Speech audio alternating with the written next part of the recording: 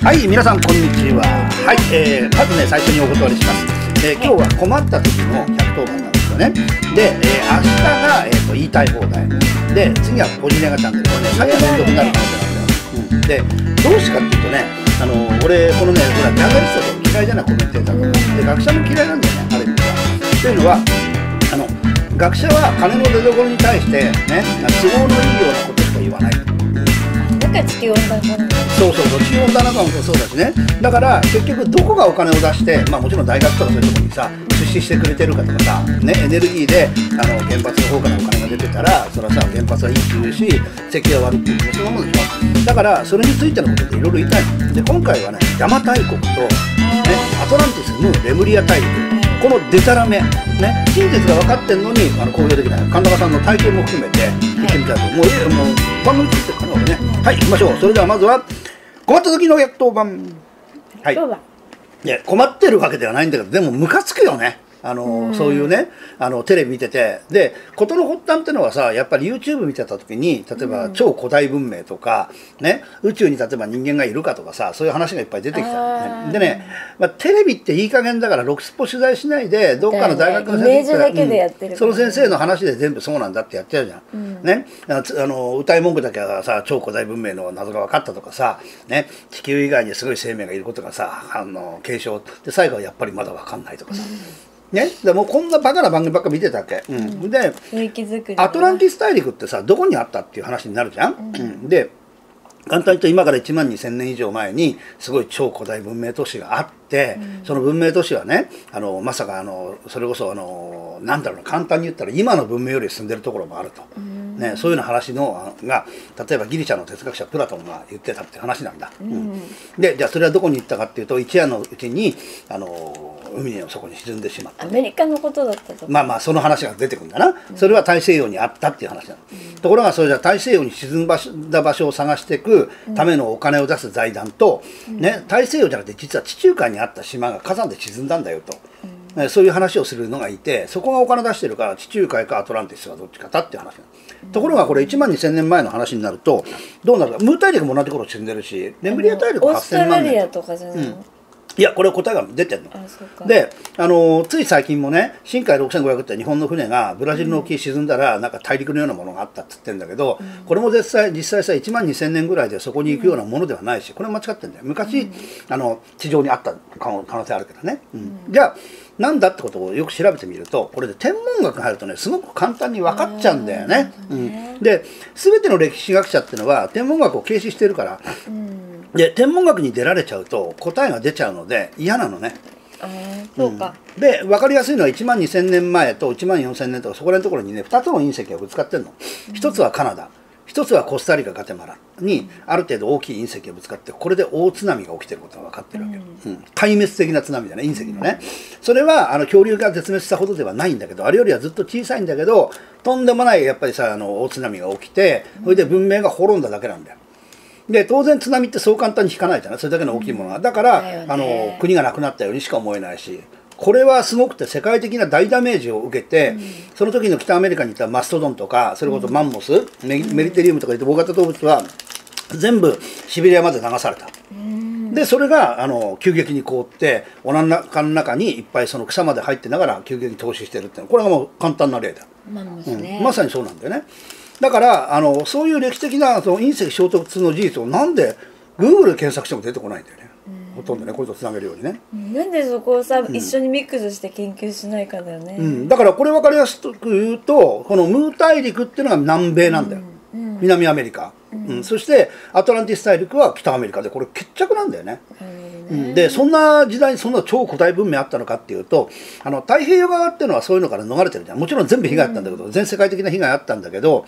で結論的に言うとねあの中国のやっぱり揚子区域にあの区域に1万3000年前にちゃんとしたしっかりした集落都市集落都市っていうのは文明があったことも分かってるわけ、だから今本格的にその文明をあの後ろに戻していくと3万年まで遡っちゃう。過去。うん。ね、で当然これが8500万年っていうところに関して俺レムリアはあんま得意じゃないんだけどこれはオーストラリアでね。簡単に言えば。だからその当時にあの工学技術も何もさあの残ってるあのあれがないんだけど、例えばもうその言い伝えでしかないんだけど、新しい大陸があったんじゃなくて昔はそこに何もないと思ってたところにコロンブスが初めて見つけたアメリカ大陸でしょ、インドだと思ってたんだからあれ、最初。だからアメリカが2つとそれでオーストラリアで終わりじゃない？まあそうだね。レームリアと、うん。そんなことをなんで誰も言わないの、で聖書の例えばさあの雨がどうたら降ってとかそういうさ、ね？旧約聖書の記述だってあれがデタラメってわけじゃないでしょ、だって天文現象として1万2000年前にはっきり起こってんだ、俺そのためじゃないけどさ、あのコスタリカまで行ってその隕石のことも調べたよ、全部、うん、だからそういう事実があるのにその事実を表に出さない、うん、やっぱりそれは都さ合が悪いのかね。大陸が沈んでくれた方がいいしその本が売れるし、うん、まあ本だけじゃないけどね。都合悪いんだよ。学会的に。あとなんていうかさその考古学とかそういう研究の人ってさゼロ一一個間違えたんだろうとか言ってさそうそうそれも言ったね。削ったりとか、うん。そういうなんて都合のいいなんてだからこの2つあっってさ、ね、あの、あの、例えばさ、あの地中海に沈んだアトランティスは、あの、一1200年前のものなんだけど、それはアトランティスの伝説を1万2000と間違えたんだろうと。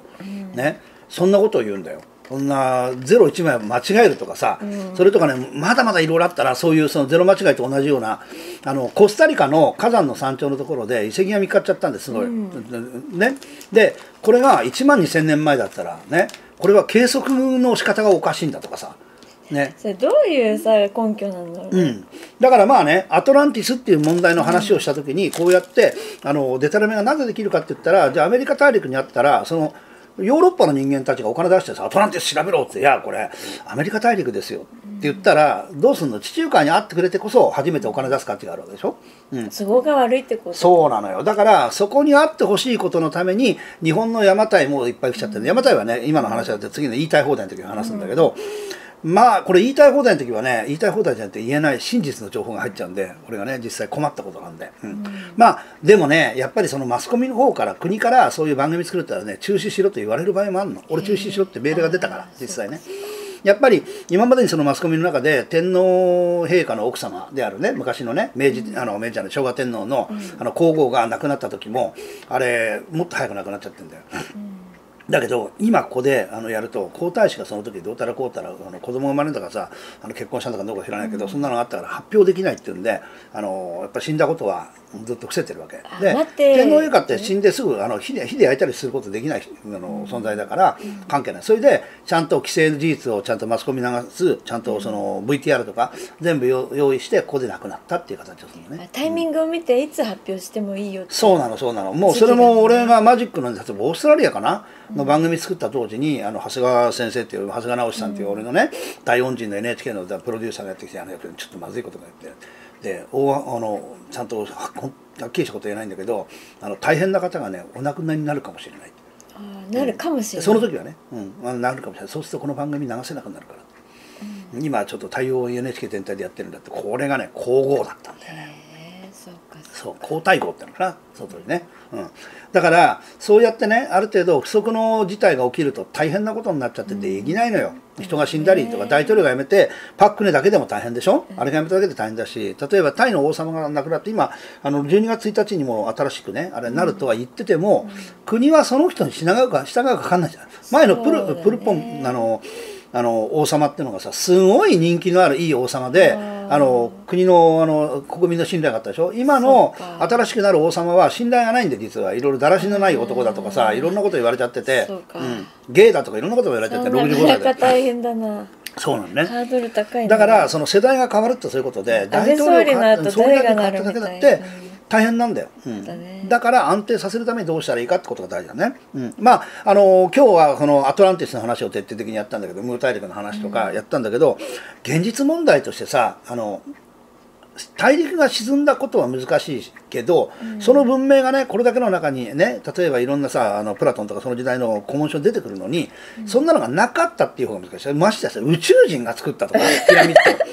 解決できないからあのインディ・ジョーンズのオーパーツってあるででしょ？あのクリスタルスカル、ね、あー。あれは19世紀にあのヨーロッパで作ったやつをそこに持ち込んだ偽物だって分かっちゃってる。んだやっぱりもうね。でいろんなことがあるからこのニュースとかその出どころこれをちゃんと見ていかないとでたらめな知識で自慢話で魚のことになっちゃうから年末私の話を聞いてください。日記も書きましたからね。はい。えー、とそれではですねえっ、と明日続いて邪馬台国やります。ね。あとまあいろいろそれでは、よろしくどうぞね。はいさようならです。どうもありがとう。この番組はあなたの街のエンターテインメントウィザードインがお送りしました。